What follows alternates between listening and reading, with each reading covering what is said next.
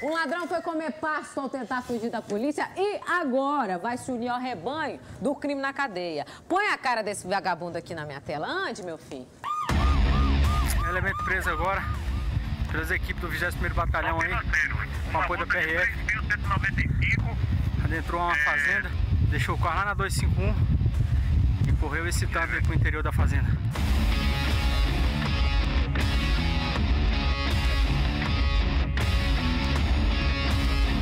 Foi depois de uma longa perseguição que os policiais aqui de São Sebastião conseguiram prender um ladrão que estava fazendo um verdadeiro arrastão pela cidade. Aí hoje, final da tarde, o carro foi avistado lá no bosque, né? Aí as viaturas começaram a perseguição e um acompanhamento. Ele correu para 251, né? PR 251 e subiu em direção à DF 140. Nesse momento que ele retornou da DF 140, nós fizemos uma, uma, um bloqueio da via próxima colônia agrícola Nova Betânia. E aí, assim que ele avistou o bloqueio, ele entrou, tentou entrar na colônia, colônia agrícola da, do Recanto da Conquista. Nesse momento ele colidiu o veículo num, num, poste da fazenda lá. Pedro Gabriel de Queiroz Dias tem 20 anos. Ele foi alcançado pelos policiais depois que ele perdeu o controle do veículo, bateu em uma cerca e ainda saiu em disparada para o meio do pasto de uma fazenda.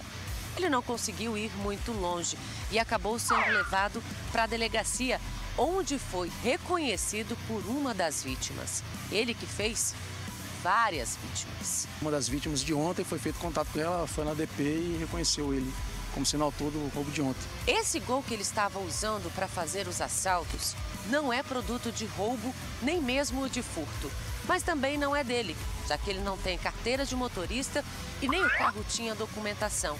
Foi justamente por conta dessa desculpa que ele disse que fugiu da polícia.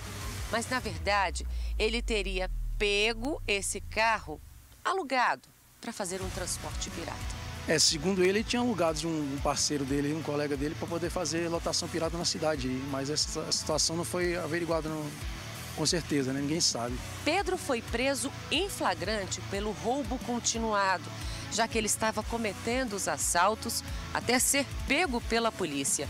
Dentro do veículo que ele estava também tinha dinheiro de uma das vítimas que foi restituído. DF Alerta falou, tá falado.